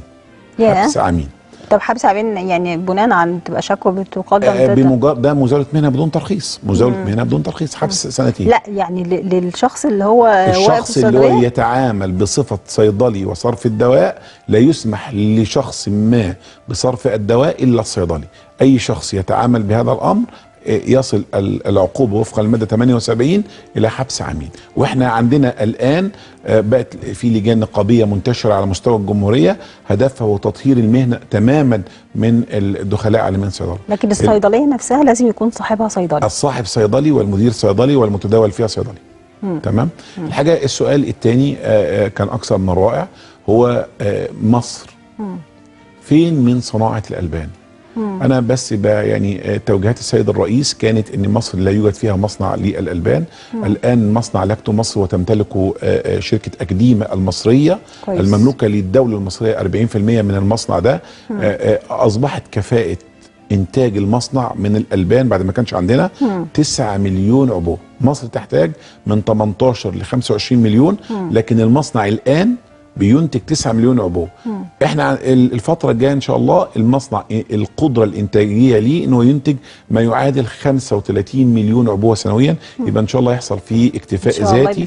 آه، وده. بيحمل اسم إيجي ميلك. حلو قوي فده دي بشرى كويسة إن شاء الله. كويس إن شاء الله. ال- ال- المنظومه الشراء الموحد للمواد الخام يا حلم يعني نتمنى ان هو يتحقق. إن فعلا يحصل شراء موحد للمادة الخام ثم توزع على شركات الإنتاج اذا مصر ضمنت. جودة المادة الخام في كل المستحضرات كده بقى مش هيبقى عندنا لا فرز أول ولا فرز تاني زي ما الناس بتقول لا ده الدولة بتشتري من مصدر واحد يوزع على ال 12 شركة بتنتجه تحت آه، مرأى ومسمع من التفتيش الصيدلي وبالتالي خلاص ما عندناش مشكلة إن أنا مصدر المادة الخام من سين وعين وصاد والهند والصين إذا الدولة. ثم الشراء الموحد فعلا هيتسبب إن ممكن تكلفة المادة الخام تقل وبالتالي نرى في المستقبل إن أسعار بعض الأدوية بسبب الشراء الموحد بدأت تقل أسعارها. طب ده كويس قوي. يعني إن شاء الله بنحلم يا دكتور إن الفترة ال- الجاية لو اتحقق ده. هو آه، يعني ما أعلن عن هيئة الدواء. كانت من ضمن آه، فيها ثلاث أقسام منها الشراء الموحد. يعني أتمنى إن شاء الله يعني يكون ده هيتوفر الدواء هيبقى أسعاره كويسة ومش هيبقى مضطرين إن إحنا نستورد. يعني كويس إحنا الحمد لله ما كانش عندنا آه إنتاج ألبان وكانت صحيح. مصر تعتمد 100% على استيراد خطوات، الألبان. آه، يعني الآن جاية- أصبحت آه، مصر من خلال لاكتو مصر تنتج ما يعادل آه 9 مليون عبوة وده شيء كويس وده جدا كويس جدا طبعا الحمد لله. معانا محمد معانا محمد من المنوفيه ألو؟ السلام عليكم. وعليكم السلام ورحمة الله وبركاته. ازي حضرتك يا فندم؟ أهلا بيك اتفضل. كل سنة وحضراتكم طيبين بمناسبة طيب. عاشوراء أهلا بيك اتفضل. والله أنا أنا عندي سؤال سؤالين اثنين لحضره الدكتور اللي عند حضرتك. اتفضل. دلوقتي بالنسبة لموضوع الألبان مم. هو لسه قايل دلوقتي إن في 9 مليون عبوة بينتجوا والرقم ده مش مش وحش. ده إحنا ده إحنا بقينا حاجة جميلة. مم. طب أنا عايز عداله التوزيع بقى عشان الريف آه، آه، الطفل يقدر يلاقي أنا أعرف صديق ليا آه، آه، اسمه محمد سعيد شاكر بيدور على علبة لبن مش لاقيها. هو اللبن بيباع في آه 1029 منفذ تابع لوزارة الصحة. يعني الألبان يا دي يا ما. بتتوزعش في الصيدليات. الألبان دي مدعومة لا ت- لا تباع في الصيدليات. بتطلع آه، يعني هي مش تبع الصيدليات هي آه، بتتباع من خلال وزارة الصحة. وزع المنافذ بقى وزع المنافذ على المراكز. مم. يعني دلوقتي مركز اوسنا يبقى فيه منفذ هو قصده يعني في بركة يبقى فيها فيه برضه. منافذ. والله الأول كان بيسمح للصيدليات بلاش بت- الكرة، خلينا بيبيع في المراكز. الدواء الألبان المدعومة لكن الدكتور أحمد عماد عمل آه، منظومة جديدة للألبان واقتصرها على طبعا لما أنا يبقى عندي 70 ألف منفذ وأقفلهم صحيح. آه، وأقتصر على 1000 طبعا مستحيل هو يغطي طبعا. كل ال- الكل في الكورة يعني أتمنى صوتك دلوقتي تسمع وزيره الصحة ويكون في آلية جديدة يعني يكون ده من إلغاء خلال القرار السابق وعودة الألبان و- وعودة الألبان تباع في الصيدليات في كل المنافذ فتبقى سهل إن أنت تقدر تجيبها يعني. آه، أشكرك جدا. آه، دكتور آه، يعني لو كان مثلا جات لك روشته يعني أي صيدلية جات له روشته من ممكن طبيب حديث التخرج كاتب أدوية مثلا لطفل أو لحاجة و ويكون ال ال ال الحاجة اللي هو كاتبها مثلا أو الأدوية اللي هي كاتبها ممكن تكون مض... يعني بتاعت. مثلا سن كبير بتاعت ممكن تكون كبيرة قوي وأنا عارفة إن ليك رأي في في الموضوع ده يعني كيفية التعامل الصيدلي مع مع مثلا الروشته دي والله إحنا في البداية إحنا الطبيب والصيدلي وكل آه، أفراد أو أطراف المنظومة آه، الصحية. هدفها هو آه، صحة المواطن. صحيح. بمجرد ما بيجي لي روجيتا وبيبقى معايا طبعا مكتوب فيها رقم تليفون الطبيب بتصل بيه وأقول له والله حضرتك كتبت جرعة الفلانية. بعض الأطباء بتستجيب ويبقى في علاقة حسنة ما بينه وما بين الصيدلي طبعا هي- والبعض هينكر يقول لك طب رجع لي روجيتا طب أنا هشوف طب يعني بيبقى يعني يعني مش قادر يعني يتقبل مم. آه النقد لكن أنا بطمن حضرتك آه، آه، اطراف المنظومة متكاملين مم. وفي تعاون كويس جدا ما بين الأطباء وما بين الصيادلة لأن في الأول والآخر إحنا هدفنا واحد بس هو شفاء المريض هو طبعا الهدف واحد وكل الأطراف بتكمل بعض يعني يعني إذا كان الطبيب بيكمل الصيدلي يعني هي منظومة واحدة ولكن ممكن يكون الطبيب أيضا يقول يعني زي ما ممكن يبقى الصيدلي عليه يعني عليه يعني تعليقات أو نوتس أو ملاحظات على مثلا روشتة حتى خاصة من اللي ممكن يكون الدكاترة لسه ملهاش خبرة يعني أيضا ممكن صيدلي ممكن يدخل له أي حد يقول له آه، يا دكتور أنا عندي كذا وكذا وكذا وي- ويشخص له آه، ال- ال- الحالة اللي عنده ويكتب له أدوية طيب هو في أدوية اسمها أدوية وصفية. أدوية وصفية طبقا لل WHO بيسمح للصيدلي بتداولها والتعامل فيها. كويس. وفي أدوية لا وصفية أدوية كبد آه، ضغط أدوية سكر. ده بتحتاج إلى طبيب لأنها بتحتاج إلى تدخلات أخرى من تحاليل وفحوصات والكلام ده وده مش مش شغلي ده شغل الطبيب. لكن إحنا بنكمل بعض. إحنا لا أنا بقوم بدور الطبيب ولا الطبيب هيقدر يقوم بدوري. إحنا آه، أطراف منظومة متكاملين مع بعض.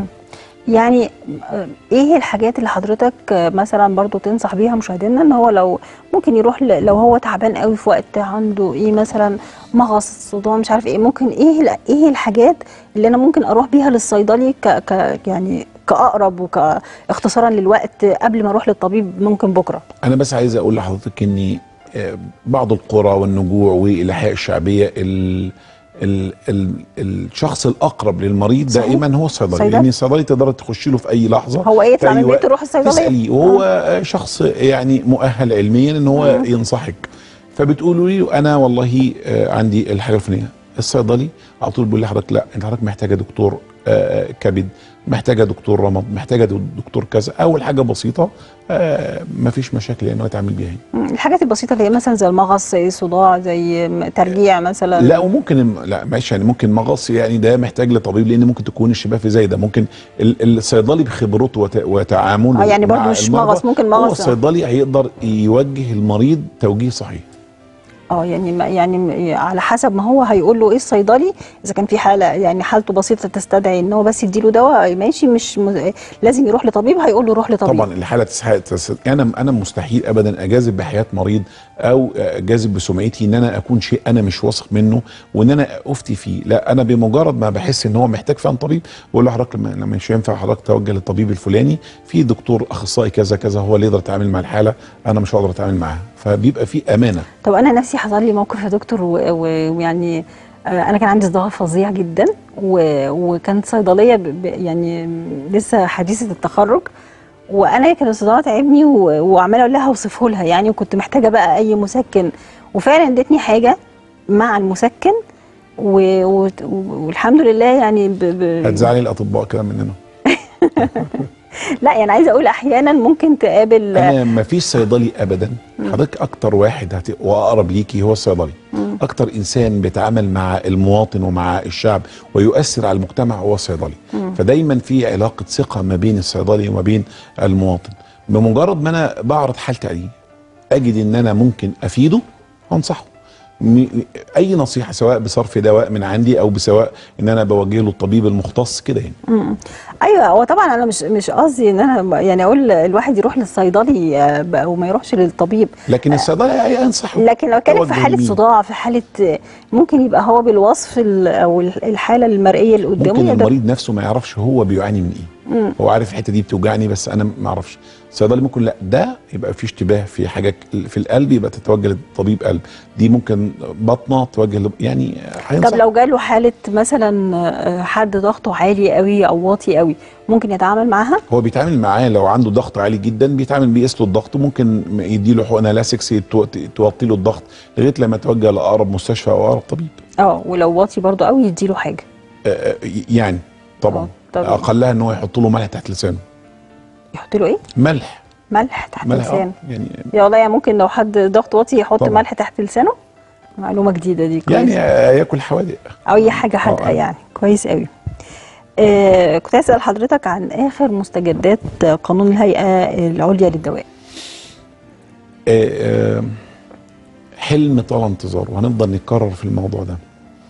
حضرتك الأردن أصبحت الآن هي الدولة الأولى عربيا في تصدير الدواء. ليه؟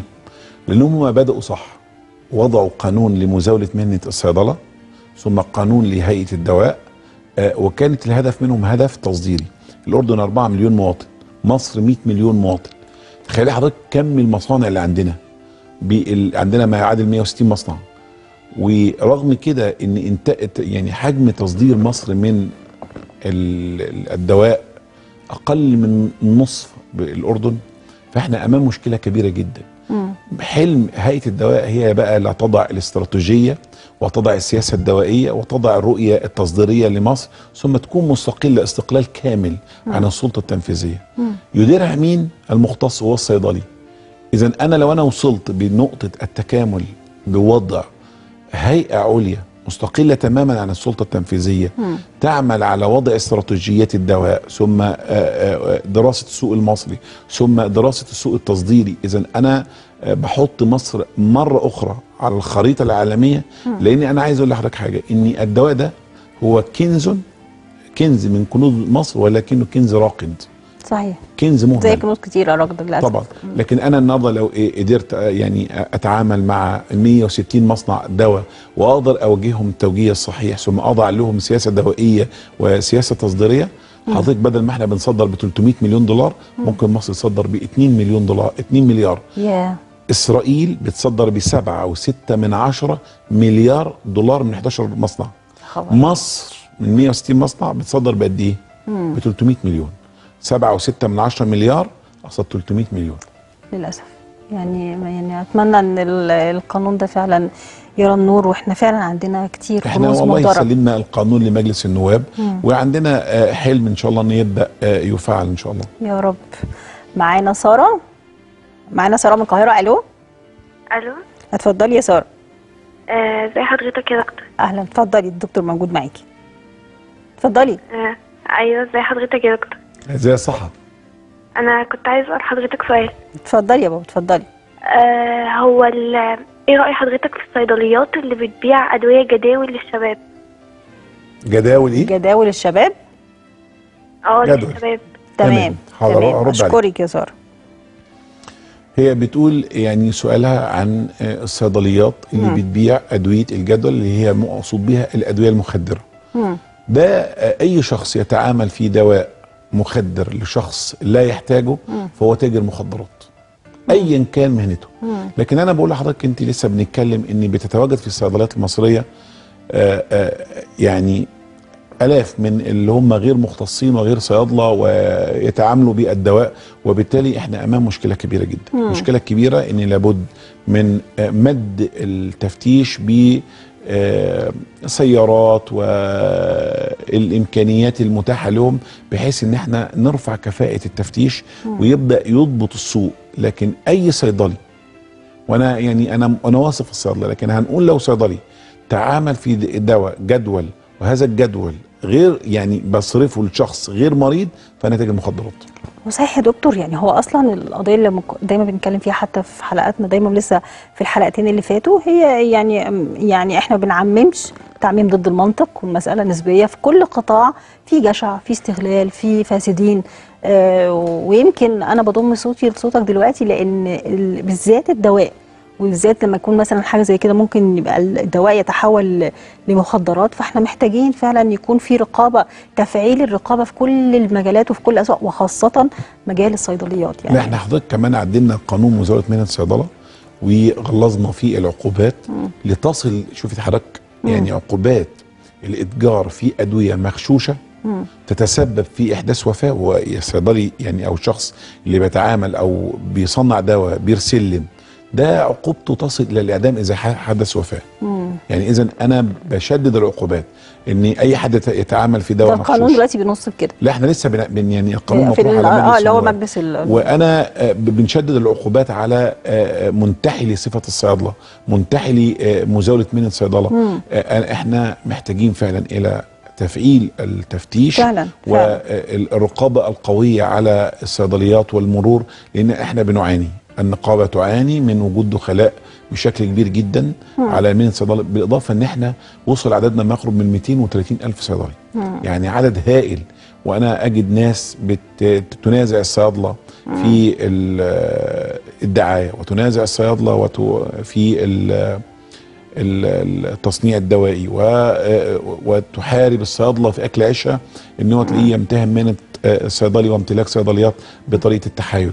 كل ده نوع من أنواع التحايل من أجل آه، آه، يعني تربح. آه طبعا يعني هو يعني آه، النقابه آه، دكتور آه، حتى لو هي بتلاقي صيدليات مخالفة أو أو مثلا حد رفع مثلا شكوى ضد النقابة هل العقاب بيبقى عقاب آه، يعني أدبي يعني ما فيش مثلا طبعا أكيد ما فيش ما ما يل- ما يلزم إن أنت لا لا لا العقوبات عقوبات قاسية ورادعه تصل إلى الاسقاط عضوية والشطب وعدم مزاولة مهنه الصيدلة يعني. أنا أنا هناك عقوبات تصل إلى إسقاط عضوية الصيدلي وبالتالي إذا تم إسقاط عضويته من ال- النقابة لا يحق له مزاوله مهنة الصيدله داخل جمهورية مصر العربية مم.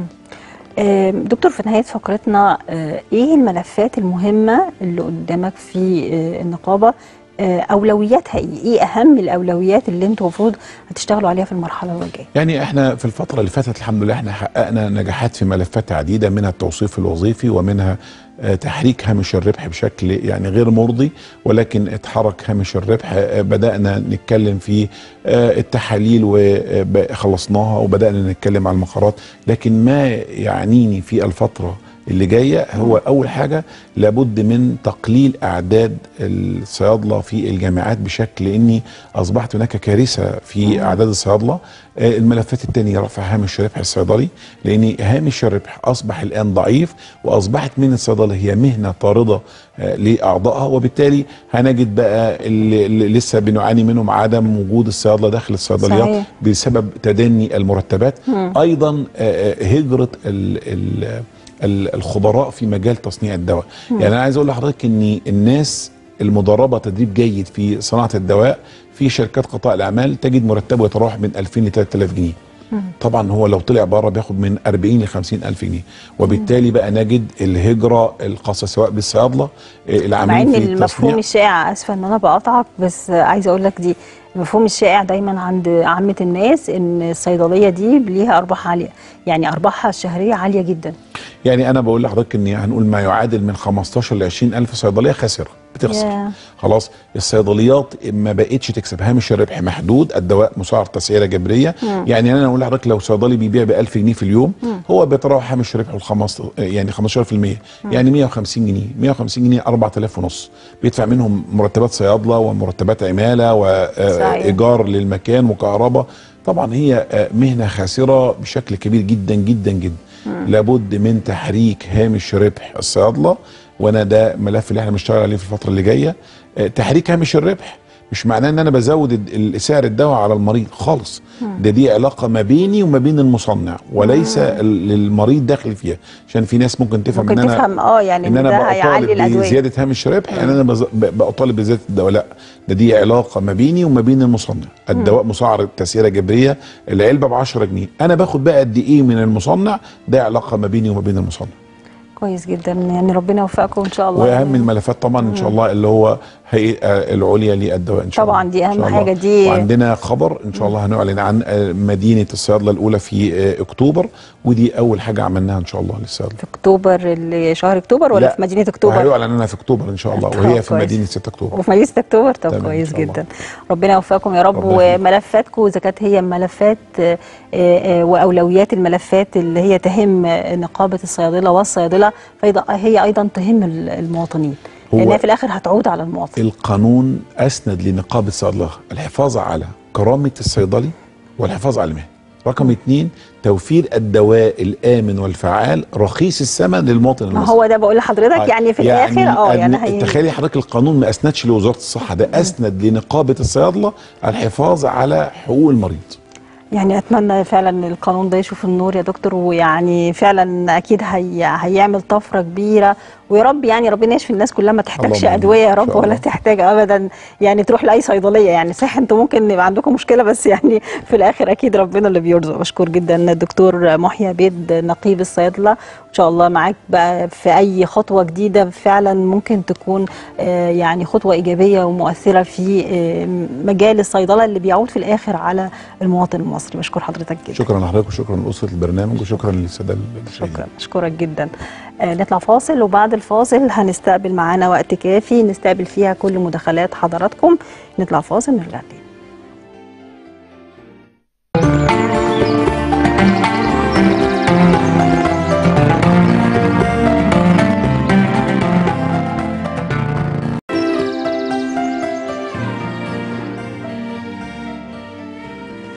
في الفاصل آه، بسأل دكتور آه، محيي بقول له بنتكلم في موضوع في الأدوية اللي مش موجودة يعني قبل ما يمشي. فبقول له آه، على فكرة الحقنة اللي أنا م- دي حقنة فيتامين يعني فقال لي إيه؟ قلت له حقنة اسمها ديفارول آه، فيتامين دي. ف... فقال لي دي اللي أنت جبتيها بكذا ب 1000 ب 125 جنيه ولقيتيها ب 250 صيدليه قلت له آه. قال دي ثمنها 11 جنيه وربع. تخيلوا بقى يعني بجد يعني أنا مش فاهمة إزاي ممكن يبقى في ناس آه، ما عندهاش ضمير كده. وإن الحقنة دي أصلا مش زي ما أنا كنت فاكراها مستوردة فبيجيبوها بالسعر ده. فلا طلعت هي دي. الدواء المصري اللي موجود. بس هم بيجيبوها بطريقة أنا فاكراها مستوردة. فبالتالي القضية بإن هم بيجيبوها بطرق غير مشروعة فبتتباع كده على حسب ما الدكتور برضو بيقول لك هات هات دي خلاص هات دي فأنا مش هقول له يعني مش لاقيينها فبناخد دي. بالسعر ده أنت مضطر تاخدها ففعلا يعني ال- الموضوع لازم يفضل مفتوح لحد ما نوصل لحل في الآخر مين يعني آه أنت ممكن المسألة فيها بزنس كبير واستغلال وتربح تربح يعني تخيلوا تربح بأدوية لعلاج ناس مرضى تخيلوا إن التربح يعني يعني بتاجر يعني كنا بنتكلم في الناس ممكن تتاجر في قوت الناس وتكون في جشع واستغلال في قوت الناس والناس اللي هي الغلابة اللي بتبقى مضطرة تشتري كيلو بطاطس عشان تأكل عيالها ومش عارف تجيب معاه شوية طماطم وتعمل أكلة. ويبقى بتشتري الحاجة زي ما بيقولوا بالغلا والكوى هم بيتاجروا بي... بيتاجروا في قوتهم وبيستغلوهم ما بالك بقى بمريض. ودايما بقول المرض أصعب. يعني المرض أصعب من الأكل. يعني الأكل والشرب ممكن حد يصبر عليه. لكن لو حد مريض ولو حد مرضه صعب إزاي ممكن أنا تاجر فيه؟ يعني حسبنا الله ونعم الوكيل. يعني في كل من لا ما عندوش ضمير. إحنا بنقول يعني فكرة ال- الفساد أو فكرة إن يكون الناس يعني بت بتستغل وعندها جشع في كل المجالات. أنا مش بتكلم مش مش بنتكلم بس على مجال معين في كل المجالات. ولكن بالأخص القطاع الطبي. وده يعني منظومة كبيرة قوي وعلى فكرة حمل تقيل قوي. ربنا يعين يعني كل اللي هو يعني آه، مفروض شايل مسؤولية هذا القطاع. لأن المسألة فعلا صعبة قوي وكل ما بتدخل وبتتعمق فيها بتلاقي فيها آه، فعلا آه، حاجات يعني عايزة اختار لفظة ما تكونش فيها سوء أدب ولكن بتلاقي حاجات فعلا يعني كوارث وحاجات فعلا محتاجة إنها تنضف وتتطهر من هذا القطاع اللي هو في الأول وفي الآخر بي- بينوط ويكون يعني هو صحة الإنسان. يعني صحة البني آدم هي اغلى ما عنده. وأغلى نعمة ربنا مديها لنا. وربنا يعافينا جميعا ويشفينا جميعا يا رب. ما يكونش في بينا ابدا يعني أي مريض. نتمنى من رب العالمين إن إحنا ما نحتاجش للأدوية. وما نحتاجش إن إحنا نبقى مضطرين إن إحنا نخش في آه، صراع ندور على دواء ولا بتاع ربنا يعافي الناس جميعا يا رب. معانا مين؟ معانا أم أحمد من القاهرة. ألو؟ السلام عليكم. وعليكم السلام ورحمة الله وبركاته. اتفضلي. أنا حضرتك آه، جوزي توفى بسبب طفلين. وربيتهم وكبرتهم ووصلتهم كليات وفي بنت اتجوزت ودينت بس بعد اذنك يا ام احمد لو انت واقفه جنب يعني تعالي في مكان بس يكون فيه شبكه وفي صوت جنبك كده بس كده سامعاكي اتفضلي بقول لحضرتك اللي معايا طفلين والدهم سمعت ربنا يا رب يرحمه ويعني وي... وان شاء الله يأجرك على تربيه اولادك اتفضلي الله يخليك ووصلتهم كليات وكده وجوزت بنتي و... و... و... واتدينت وكده وفي ناس مستبرين على الدين بتاعهم مم. ف... فمستبرين عليا وكده وكانت حضرتك امبيالات عليا وشيكات وحاجات. الدين اللي عليكي كام؟ كرم حضرتك. حدود 25 أو يعني 30 بالظبط للسلف اللي عليا. 30 ج- 30000 آه هل انت مستلفة ولا انت ماضية على كمبيالات؟ لا ماضي لكن ديلك مستلفة فلوس من الناس مم. طب وانت ده ده دين بتاع بتاع جهاز البنت؟ أيوه وكان بقى بقيت من الثانوية العامة كمان فلوس كنت مدخلهم ثانوية عامة الاثنين حضرتك بتشتغلي؟ آه شغالة مم. ربنا يعينك إن شاء الله وييسر لك أمرك آه، يعني ممكن سيبي بس رقم تليفونك لو حد عايز يساعدك واللي عايز يساعدها يعني زي ما قلنا في بداية الحلقة نتأكد نشوف برضو بنفسنا ونعرف نحسبها يعني صادقة إن شاء الله المزكيه على الله ولكن يعني حرص ولا تخون زي ما بنقول إن إحنا نتأكد ونشوف فلوسنا رايحة فين. وممكن تدفعوا لها لو حد حابب يدفع لها الدين يروح يدفعه في المكان اللي هو يعني مثلا ياخد حد عايز يدفع كمبيالة يروح يدفع كمبيالة اللي هي بتقول عليها الشيكات اللي هي كانت ماضية عليها يدفع في المكان المخصص اللي هي مستلفة منه أو حد مستلفة منه يروح يدي لها الدين ويكون آمن مرتاح كده إن هو فعلا آه، يعني يعني وصل الفلوس فيما يستحق. معانا أم محمد من الغربية. ألو. أيوه السلام عليكم. وعليكم السلام ورحمة الله وبركاته. اتفضلي. كل عام وحضرتك طيبة. وانت طيبة وبخير. اتفضلي. الحمد لله. أنا يمكن مشكلتي زي مش زي المشاكل اللي بسمعها يعني آه، ربنا يديكم الصحة إن أنتوا بتعينوا الناس على حاجات كتير.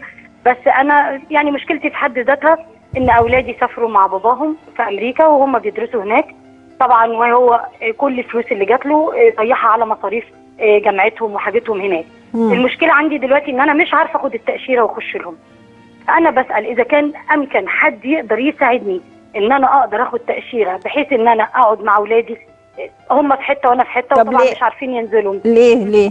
ليه مش عارفة تاخديها؟ ما أعرفش. بدون سبب. قدمت مرتين ودخلت بتترفضي السفارة. بتروحي السفارة وبتترفضي بياخدوا ريفيوز بدون أي سبب. كل اللي بيسالوه لي انت ما بتاخديش تأشيرات انت ما خرجتيش بره البلد. أقول له آه أنا ما خرجتش أنا قاعدة هنا والدتي كانت تعبانه وقاعده بعولها وكده ولما توفت فعايزه اجتمع مع اولادي بقى اعيش معاهم مش هفضل عايشه لوحدي بالصورة دي. إيه طيب انت آه يعني طب ماشي. إيه هو ما فيش اسباب لرفضك إيه بس مش هنديك التاشيره. إيه قوانين البلد لا تسمح. يا جماعة قوانين البلد لا تسمح إيه؟ ابني إيه طيب ابني بكالوريوس بتاعه هياخده حفله تخرجه منعوني حتى ان أنا أروح احضر حفله تخرج طب ولادك ولادك ما بي- بيعرفوش ينزلوا ليه؟ ما هم للأسف الشديد أوراقهم المفروض إن بنتي المفروض تقعد حوالي 900 يوم على حسب القانون الأمريكي اللي هي وياها جرين وياها جنسية بس مش راضيين يدوها الجواز ولا التأشيرة ولا الجنسية إلا لما تقعد لا يقل عن 900 يوم. ده قوانين عندهم. طب لو؟ نزلت بره البلد مم. حتى بال green. هو دلوقتي طبعا حضرتك عارفة الظروف هناك. مم. حتى لو بال green قالوا ال- الضابط قال لها وهي داخلة. المرة اللي فاتت دي قال لها أنت ممكن ما تاخديش التأشيرة تاني وتخشي طالما أنت بتقعدي بره كتير بره أمريكا. إحنا مدينك ال green واخدة الجنسية عشان تقعدي جوه البلد. فطبعا مش عارفة تنزل إلا لما تاخد الجواز بتاعها. فطبعا ده في حدود سنتين ثلاثة على ما تنزل. ابني نفس الحكاية. معاه جرين برضك وما يقدرش ينزل إلا لما يمر على الجرين بتاعه خمس سنين. وباباهم منهم ثلاث باباهم مش عارف يتصرف يعني؟ مش عارفين نتصرف مش عارفين نتصرف. طبعا أنت عارفة زمان كانت الأوراق بتتاخد من زمان من فترة طويلة مم. بتتاخد بأمور كتيرة ملتوية. فطبعا مش عارف يتصرف. خايف إنه يجي يتصرف يأذي نفسه وخصوصا إن الظروف هناك صعبة جدا وبيحفروا ورا الناس هناك وعايزين ينزلوا الكل فطبعا خايف يأذي ولادي في جامعتهم وسابوا جامعتهم. طيب. أشكرك جدا وأتمنى يكون في حد سامعك من وزارة الخارجية ويقدر يساعدك إن شاء الله في مشكلتك ويجمعك بأولادك على خير يا رب. معانا سحر من الشرقيه ألو؟ ألو السلام عليكم وعليكم الله السلام. وبركاته. وعليكم السلام ورحمة الله وبركاته اتفضلي. إيه معلش يا أستاذ أنا بس بعد إذن حضرتك كنت عايزة يعني قبل أي حاجة يعني أشكر حضرتك على البرنامج الكويس دوت. ربنا يكرمك. أنا بس يعني زوجي توفى الله يرحمه من أكتر من خمس سنين و... الله يرحمه. وساب ولد وبنت عندي. مم. الولد توفى من من سبعة في حريق. أنا سبتهم ورحت الشغل رجعت لقيت البيت كله محروق. لا حول ولا قوة إلا بالله. يعني والبنت آه، عندها نسبة حروق 70% دلوقتي بنتي بنتي بتموت. اللي أنا ضيعت حياتي عشانهم خلاص بيروحوا مني. أنا محتاجة إله حد يعمل لها الله. العملية. لا إله إلا مش الله. محتاجة أي حاجة تانية. ابنك قد إيه اللي مات؟ 11 سنة. الله يرحمه. توأم. الله يرحمه. كانوا يعني توأم. الأخ والأخت توأم. الله يرحمه يا رب ويشفي لك بنتك يا رب. هي محتاجة حد يلحق البنت. حد يلحق البنت أرجوك حاضر. أنا تعبت العملية هي- مكلفة وأنا انت مش قادرة فين؟ على انت ساكنه فين؟ أنا أنا حضرتك قاعدة في المنوفية. في المنوفية و... وتكلفة العملية قد إيه؟ تكلفة العملية 13000 جنيه. مم. هل ما رحتيش تشوفي مستشفى الحروق؟ ما رحت كذا مستشفى بس وادوني ميعاد بس ادوني ميعاد يوم 18 واحد السنة اللي جاية. مم. ونسبة الحروق قلتي طبعا. 70% آه. طيب الله المستعان وربنا يشفيها ويعافيها ويصبرك و... وإن شاء الله بإذن الله تعالى تعمل العملية على خير إن شاء الله. سيبي يعني آه، سيبي انت طبعا ما, ما حاولتيش تتواصلي مع مؤسسة أهل مصر صح؟ لا مش عارفة. أنا تواصلت مع كذا حاجة وفي ناس جت عملت لنا بحوث ومعايا من ثمن العملية يعني معايا منها سيبي 2600 سيبي. رقم تليفونك وبياناتك مع زمايلي وإن شاء الله بإذن الله تعالى يعني بنتك تعمل عملية. هنحاول نتواصل مع آه، مؤسسة أهل مصر ومستشفى هناك يعني فيها كل الإمكانيات. إن شاء الله بإذن الله يعني ربنا يشفيها ويعافيها. معانا نوال من المنوفية. ألو؟ السلام عليكم. وعليكم السلام ورحمة الله وبركاته. اتفضلي. ازيك يا أستاذة وفاء؟ الحمد لله بفضل ونعمة. اتفضلي. الله يخليك. أنا نوال مركز الباجور مم. منوفيه أهلا بيكي. أهلا بك يا ف... وأنا أشكر حضرتك بس على وقفتك معايا واهتمامك بحالتي. أنا ست بسيطة وغلبانة. وظهري واقع على ظهري ومركبة شرايح ومسامير وعندي الغدة. في رقبتي. الغده فيها خمول ومبوظه عيني وه- و- ووجع ظهري ده. تعبني. وقعدت سنة في السرير سنة ونص. زيادة.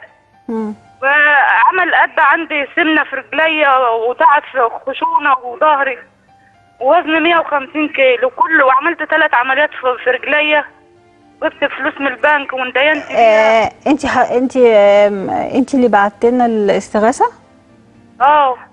طيب ماشي أنا بعتلك عشان خاطر الدكتور محمد الفولي آه رحت آه، كشفت عنده الأسبوع اللي فات مم. وقال لي أنت عايزة تكميم معدة عشان رجلك دي تخوف من ال- من العمليات اللي فيها مم. والعملية تكلفتها أربعين ألف وأنا معيش يا بنتي ومعيش عيال والراجل طيب. جا- رجليه بتوجعه وعنده الانزلاق غضروف في الظهر هو اللي كان بيساعدني وكان بيشتغل يعمل في البيت ويعمل كل حاجة تعبان والمعاش متحول البنك زي ما أنت عارف زي ما قلت لك في البداية. في الجواب حاضر. ربنا يشفيكي ويعافيكي أنا معايا تليفونك. انت يعني في الخطاب اللي انت بعتيهولي وصلني على على القناة هنا وإن شاء الله بإذن الله تعالى يعني بنحاول بنسعى كده نشوف بنتواصل مع أحد الأطباء نشوف إذا كان ممكن يقدر يساعدك وإن شاء الله تعملي العملية. وأتمنى من رب العالمين إنها تكون بالشفاء يا رب العالمين ونلاقي يعني يعني حد ربنا يرزقنا باللي يساعدك إن شاء الله من الطبيب اللي يساعدك بإذن الله. معانا سامي من القليوبيه ألو؟ السلام عليكم. وعليكم السلام ورحمة الله وبركاته. والله حضرتك إحنا أكبر تجمع سكاني في غرب شرق قيمه آه. التجمع يعني ممكن يصلح أو يسموه كومباوند بالأسماء الحديثة دي. التجمع فيه آه، ثمان إدوار سكاني يا فندم حوالي 266 شقة. المدخل آه، عرضه 15 متر. كنا واخدين آه، آه، آه، التخطيط على ان في مدخل ثاني ممر آه، آه، اللي هو للطوارئ اتفق المدخل الثاني ببناء عمره ودلوقتي عايز يقفل علينا المدخل العمومي ويعمل لنا ممرات عرضها واحد آه، متر و60 سنتي آه، بطول 50 متر يا فندم أنا بس يعني عشان إحنا هنتوه من حضرتك في ال في ال التوصيفات الفنية يعني إيه المشكلة بالظبط؟ المشكلة إنه عايز يقفل يقفل علينا المدخل ده ويبيعه سوق تجاري مين هو؟ مين هو معلش؟ المالك اسمه أبو الخير يا فندم والمشكلة في الحي. المالك؟ و... آه أبو الخير. اسمها أبراج أبو الخير. اسمها أبراج مؤسسه مالكها أبو الخير. آه هي ال- المالك ده عايز يعمل يعني يسد عليكم مثلا المدخل زي ما أنا فاهمة عشان الصوت بس بعيد. آه يعمل لنا آه يعمل لنا مداخل جانبية من من المناور والمداخل دي طول آه، 50 متر. تمام. يعني طب قولي يعني إحنا نقدر نساعدك في إيه؟ المشكلة فين؟ ألو؟ طيب. معانا مين؟ معلش الصوت قطع. معانا أم رقية. أم رقية من المنوفية. ألو اتفضلي. الله وبركاته. وعليكم السلام ورحمة الله وبركاته. آه معلش أنا بس عندي مشكلة بعد إذن. حضرتك. اتفضلي. أنا معايا بنتي رؤية ما عنديش غيرها الحمد لله. يعني. شايله الرحم من سنين. آه عندها صمامين في القلب. آه ضايقين وعايزين توسيع. آه ولازم يتعمل عملية يعني بصي في وقت قصير جدا لأني المفروض بتخش المدرسة قبل ما بتطلع الدور التاني في المدرسة بيبقى اغمى عليها ثلاث مرات دخل غيبوبه يا الله انت قلتي عندها كام سنة؟ آه هي المفروض في يعني في خمسة ابتدائي عندها كام سنة طيب؟ هي بنتي عشر سنين. عشرة آه. آه، بس كل المشكلة عندي إن يعني إن ألحق أعمل العملية ديت قبل ما يحصل لها أي حاجة. مم. محتاجة دكتور. أنا بقول لحضرتك هو محتاجة دكتور. محتاجة حد يتكفل بالعملية بس يلحق البنت لأني أنا شايلة رحم يعني مش هشوف الخلفة تاني. ويا عالم ربنا يكتب لها الخير على ايديكم وعلى ايدي المسلمين وعلى ايدي الدنيا كلها.